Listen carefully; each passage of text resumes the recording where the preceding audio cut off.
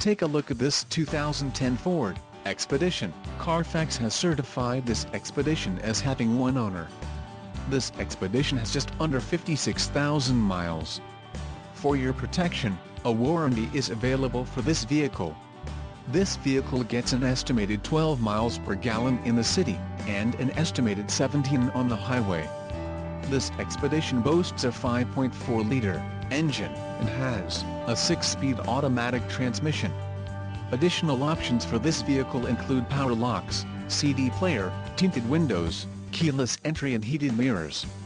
Call 888-300-1565 or email our friendly sales staff today to schedule a test drive.